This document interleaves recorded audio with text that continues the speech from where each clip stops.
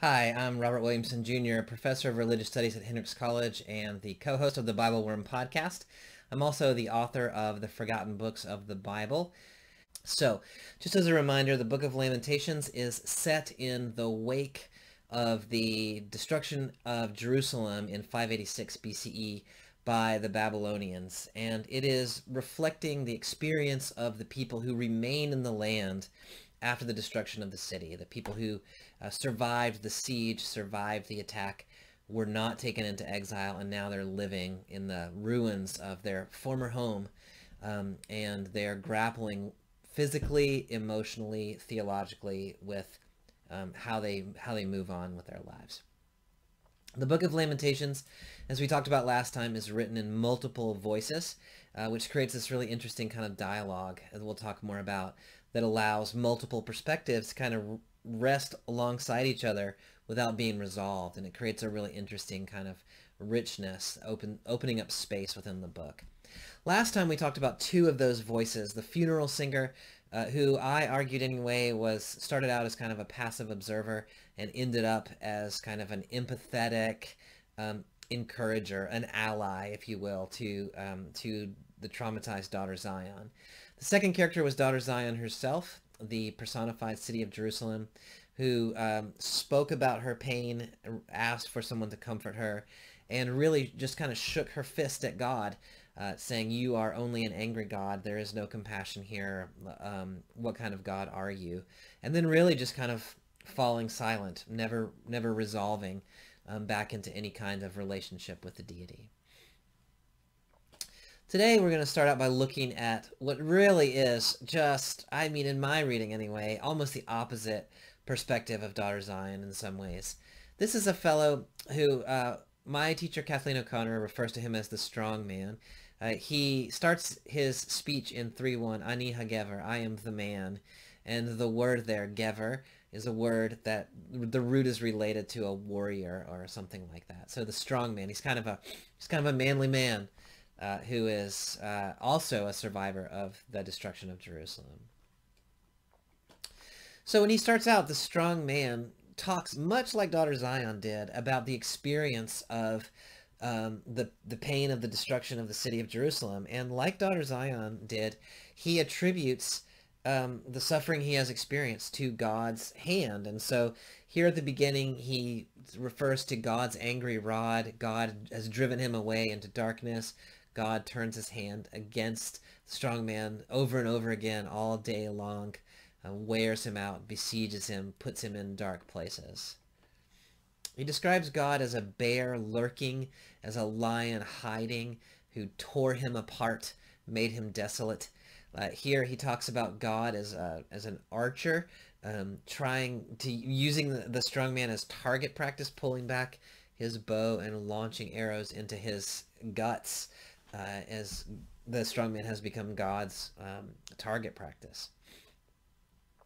With this pretty dramatic imagery, he talks about God crushing his teeth into the gravel. That the image there is like God's boot grinding the strongman's face into the ground, uh, pressed me down into the ashes.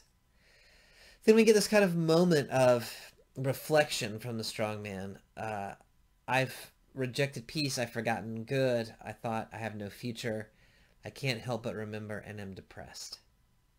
Now, up until this moment, the strongman sounds, in my mind, a lot like Daughter Zion. He's acknowledging the, the pain he has endured. He is saying that God is the source of that pain. Uh, and at this moment in verse 20, he's not sure that there is any hope. But the strong man, unlike Daughter Zion, makes a turn in his theology. If you have ever heard a Sermon on Lamentations, odds are that it was on this next passage that we're about to look at in 321. The strong man says, But I call this to mind, therefore I have hope. Certainly the faithful love of the Lord hasn't ended. Certainly God's compassion isn't through. They are renewed every morning. Great is your faithfulness. Now, this is one of the most kind of beautiful prayers in all of the Bible. Um, this I call to mind, and therefore I have hope. Uh, your compassion is renewed every morning. Great is your faithfulness. It's, it's this expression of trust in the divine, that God's compassion wins over God's anger, that there is morning that comes after the darkness, that, uh, that God is ultimately a God who restores. Now, if you remember, daughter Zion said, you are only angry and have no compassion. Here the strong man is saying, you are angry, but ultimately your compassion is what is going to win the day. Now the strong man continues on reflecting on what it means to suffer at the hands of God. And what he says is, it's good for a man to carry a yoke in his youth. He should sit alone and be silent when God lays it on him. He should put his mouth in the dirt.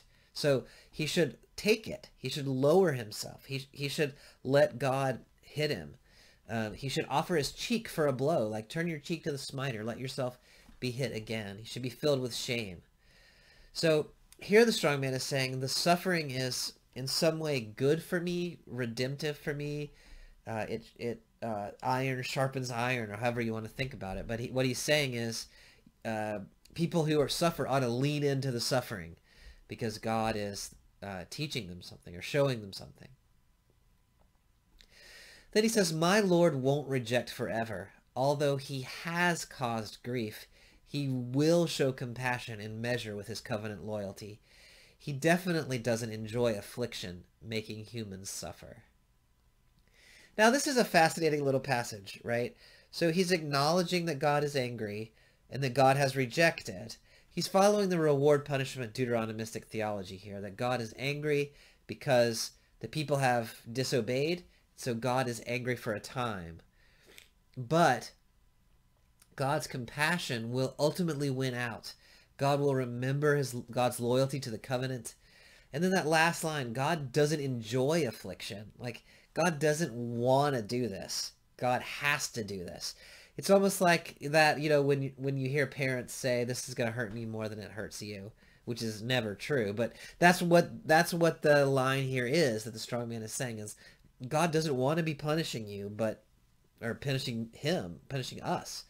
Um, but God has to do it because that's the covenant that God made. Then a few verses later, the strong man speaks to his community and he says, we, we must examine and search our ways. We must return to the Lord. We should lift up our hearts and hands to God in heaven.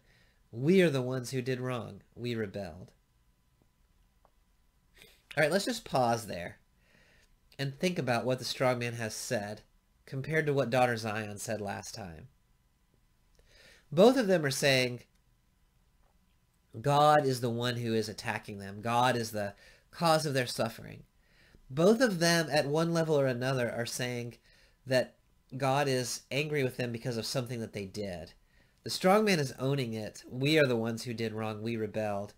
Daughter Zion kind of, she suggested that maybe she did wrong. But her point was, no matter what she did, she did not deserve to be punished the way she was punished. Should women eat their children in the in the streets? No, they should not. God is only anger, not compassion. Daughter Zion ended with a fist shake and basically seemed to break the relationship. There is no future here. The strong man gets to the same point and then turns. So God's anger is not the end of the story. God will be compassionate. How do we know? Well, because God has been compassionate in the past. Now, these two, just as a reminder, are both survivors. They're both people who talk about the trauma that they themselves experienced. So it's interesting to, to they're processing it very differently. One is anger and rejection. One is uh, submission and um, acceptance. And there's a real question about can who's right or can daughter Zion and the strong man get along? Like their their approaches are very very different. Most people, I suspect, prefer one of those theologies or the other. I myself am a daughter Zion kind of person where I think if you are being punished unfairly, you ought to shake your fist and keep shaking it. But I know lots of people, and um, many of them at my little community that I pastor, Mercy Community Church here in Little Rock.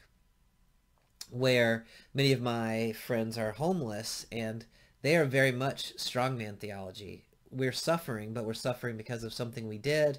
God is uh, angry with us, but God is not going to be angry forever, and there's still hope in the future.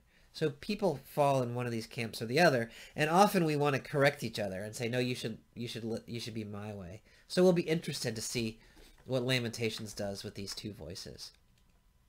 But first, there is a fourth voice uh, in Lamentations, and I call him the scoffer. I do not like him, uh, but he but he's in the book, and so I, I think he's there to challenge me in some kind of a way. But the scoffer is like the funeral singer at the beginning of the book. He doesn't talk about his own pain, so I don't think of him as a survivor. I think of him as a bystander, an onlooker. He thinks in economic terms. It's kind of interesting. So uh, the the riches have been tarnished, and then Zion's children, who were once valued as pure gold, now they are worth no more than clay pots made by a potter. So his worry is that the community has lost its value. The the children have lost their value. It's a I mean it's a weirdly kind of cynical view of what's happened when he looks at this mass of human suffering and says, "Ah, they're not worth what they used to be worth." He goes on then to say, even jackals, the, the wild scavengers of the desert, offer the breast they nurse their young. But the daughter of my people has become cruel like des desert ostriches. The baby's tongue sticks to the roof of its mouth. Thirsty, children ask for bed, beg for it, but there is no bread. Now this is a really cynical reading of what's happening, right? What he's saying is the mothers of these poor starving children are worse than the jackal mothers because at least jackals feed their babies. But these women don't even give their children bread when they need it. Now remember, he's saying this about women who are living in a city that is besieged by the Babylonian army and we've seen that line about, you know, people considering whether they have to eat each other in order to survive. And he's critiquing them because they don't have bread to give their children. But the women want to give their children bread, right? The problem is there's no bread to be given. The problem is a systemic problem. The problem is that this these this power struggle between these armies has impoverished the people. But here he is blaming the victim for uh, for for their poor parenting when in fact they have no option. This sounds like rhetoric we hear in our own time, in our own place, where people blame poor mothers for not taking care of their children when in fact they're bending over backwards, but the system is stacked against them. Well, finally, the scoffer comes back to the reward punishment theology and says, the Lord scattered them they did not honor the priest's presence. They did not favor the elders. So it's their fault that they're suffering. Now the scoffer, in this sense, reminds me of the funeral singer. Um, he's a detached observer. He's very judgmental. He's processing through his own lenses. But unlike the funeral singer, he never takes the time to listen or to hear the voice of the tra traumatized. He never empathizes. He never starts to weep or to wish to be a comforter. He just is a, is a judge, and that's all he's got. And yet, as much as I want to get rid of that guy because he has nothing useful to offer me, the Book of Lamentations embraces him, keeps him around. We'll talk more about that in just a minute. Finally, in chapter 5, we get to the community voice. This voice speaks as a first-person plural, we. So one way of imagining what's happened here is that the community voice has listened to these first four voices. The funeral singer, daughter Zion, strong man, scoffer. And now comes its response. Chapter 5 is the last chapter of the book. And so we're expecting that there's going to be some kind of conclusion here. But what I want to suggest to you is that that's not what the community voice actually ends up giving us. So let, let me show you what I mean. First of all, in 5.1, the community voice says, Lord, consider what has become of us. Take notice of our disgrace. look at it. Now, this language, take notice, look, Hebrew habita, re'eh. This is uh, daughter Zion's language, if you remember from Lamentations 1 and 2. She's This is what she says, remember, look, see. So here the community is echoing her voice. I didn't really talk about it, but this word charpah, disgrace, that's a strongman word. He likes to talk about the disgrace, the shame of the community. Um, and so it's interesting in this first verse that the community voice affirms something of daughter Zion and something of the strong man. It's the community voice is trying to find a way, I think, of embracing both of these figures. Uh, if you th these are daughter Zion's words um, from back from chapter one. Look, look, uh, take notice, take notice. Those are the same words that you see in five one. So the community voice is is uh, recognizing her, and then uh, here again in 220, take notice. At the same time, this is the strong man who talks about disgrace in 330 and again in 361.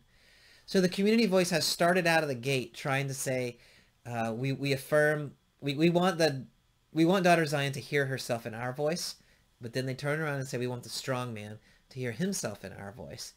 Remember, they've got these two voices, the strong man and daughter Zion, who could not be more different in their theologies.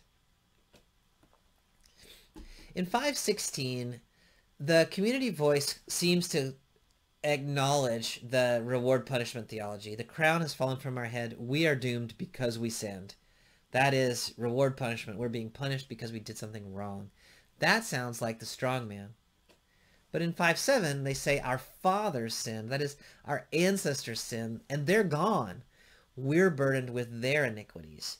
Now that's taken a step back from the uh, reward punishment theology and saying we didn't do anything, but we're suffering because previous generations did something. That sounds more like something that Daughter Zion has said. So again, we find the community voice embracing these two perspectives, trying to hold them together. Now, the community voice goes for a long time describing its own suffering, and you can hear imagery familiar from both the strongman and daughter Zion. In 519, then the community voice makes what is often called a turn toward God. So the community voice says, but you, Lord, will rule forever. This is the Common English Bible translation. Your throne lasts from one generation to the next. Now, that translation sounds like the strong man, right? It sounds like the uh, turn toward God, um, but this I call to mind, and therefore I have hope. The steadfast love of the Lord endures forever. That's the strong man. So you might be tempted to think that with this line, uh, the, that the community voice is leaning toward the strong man. But hang on a sec. The Hebrew literally says, You, Lord, sit forever on your throne from one generation to the next. Now, in the Psalms, Psalm 74 and elsewhere, you'll hear this, you, Lord, sit forever. And then the next line is, rise up and, you know, carry out your vengeance. But that never happens in Lamentations. It's just, you sit forever. And so that sounds like, if you read it that way, that God is just sitting there on the throne while the people are being destroyed and that God, they have no confidence that God's actually going to get up and do anything. That sounds like daughter Zion. So, so here's what I think is happening.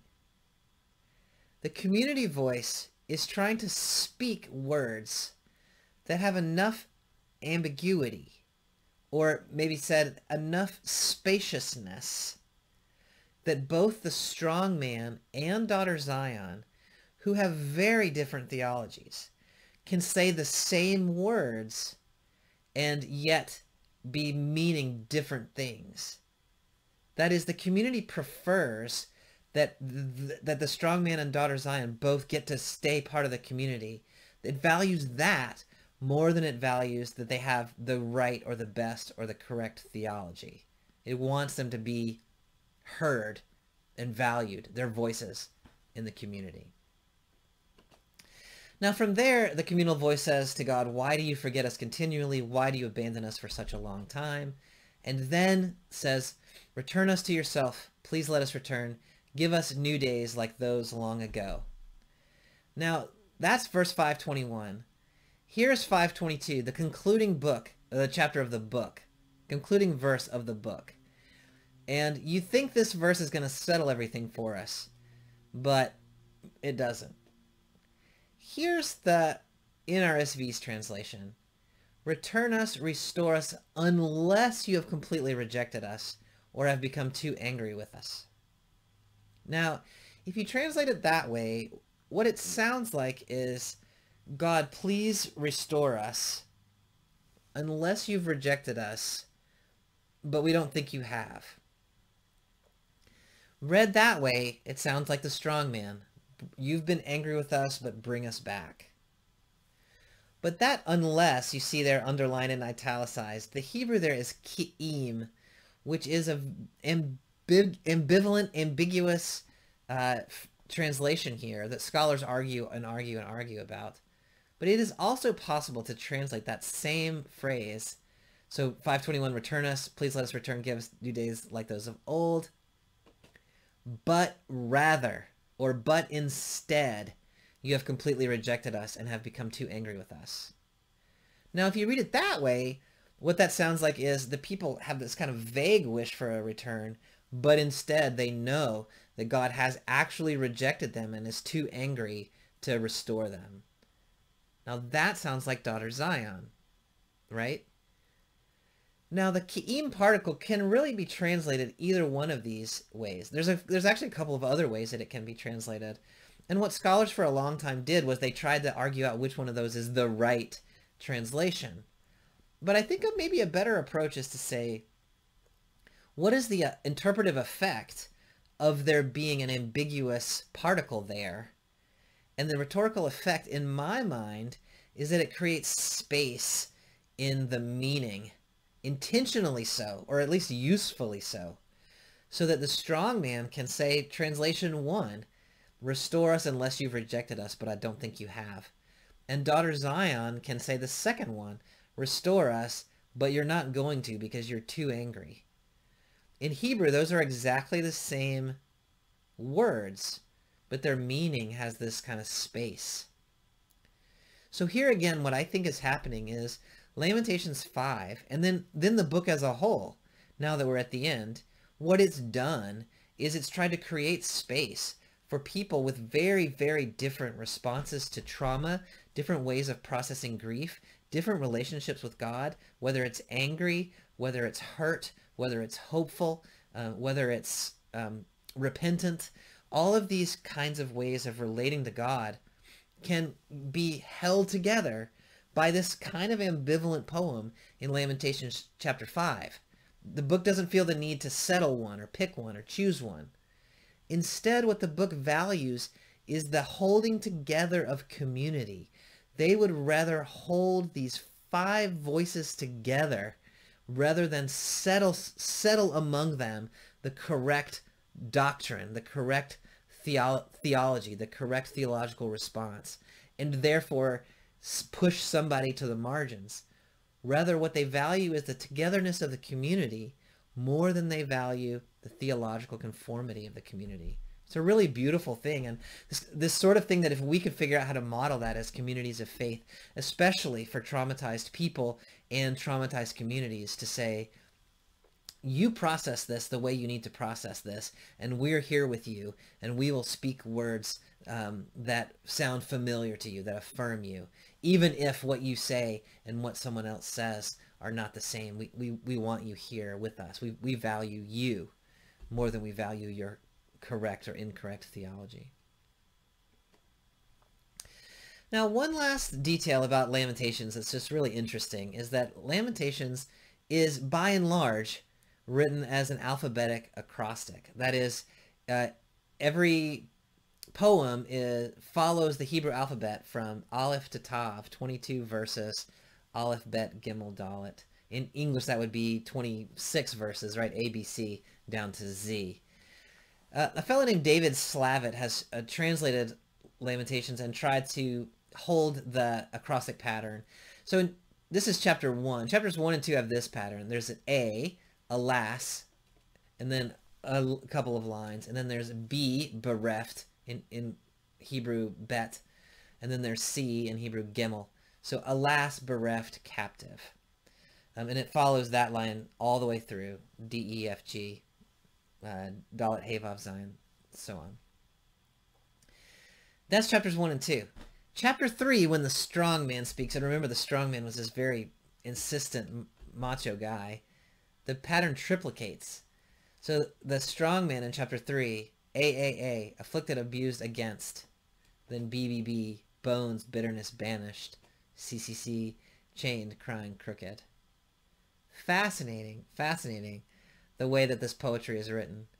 Chapter 4 then goes back to the pattern of chapter 1 and 2, more or less. And then chapter 5, in this really curious way, has 22 verses, the same as the number total number of letters in the Hebrew alphabet, but it's not an acrostic. So it it's like it's remembering that there is an alphabetic acrostic pattern, but it's not conformed to it. Now, the question that I would ask you if you were here with me is I would ask you, why do you think that that's significant interpretively? Like, how would you interpret the, why would, why would you think someone would write about uh, trauma in, in an alphabetic acrostic? Some of the things that get suggested, which I think are pretty good responses, one is that the people are trying to express the totality of their suffering from A to Z, from Aleph to Tav. Uh, and so it, they're trying to, um, they're trying to show the breadth of it. And then in chapter 5, which is not an alphabetic acrostic, it sort of uh, breaches the bounds of the alphabet and kind of runs a little free. Other people talk about um, trauma being chaotic and overwhelming, and you've got to have some way of organizing it. So I don't know how to start talking about what I've experienced, but if, if you say, well, say something that starts with A, maybe I can do that, and then B, and then C, and then so on. So it's an attempt to contain the chaos. Other people have argued that it's an attempt to remember. We don't want to ever forget this thing that has happened to us. And so we're going to commit it to memory by making it structured in a way that we can recall the whole thing. I think these are all really interesting and beautiful and possible interpretations of the acrostic. One that I also think is really uh, useful is that these voices, especially Daughter Zion's voice and the strong man's voice, but also the funeral singer's voice and even the scoffer's voice, bless his heart. Um, they're all written uh, in this alphabetic acrostic, and so they belong to each other, recognizably so, whether they want to or not. So even if the strong man and daughter Zion say, we don't want to have anything to do with each other, they're still marked by this alphabetic pattern that holds them together. So the community binds them even when they might prefer to withdraw from the community. They're, they're marked by the communal pattern, even though they might be, be feeling alienated from the community. I think it's this, this really beautiful idea. We, we, we belong to each other, whether we like it or not sometimes. We belong to each other.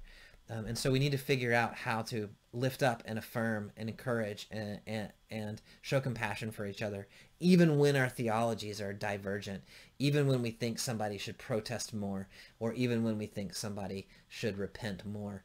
Um, let, let their response be what it is and find ways of embracing them in the community that's what I think Lamentations has to offer for us. And, you know, you can think of all kinds of ways that that's relevant to our contemporary situation and the kinds of communities and people that are experiencing trauma now and have been experiencing trauma for generations past. And thinking about what does it mean for us to be community for and with those folks. I think Lamentations is rich ground for having that conversation.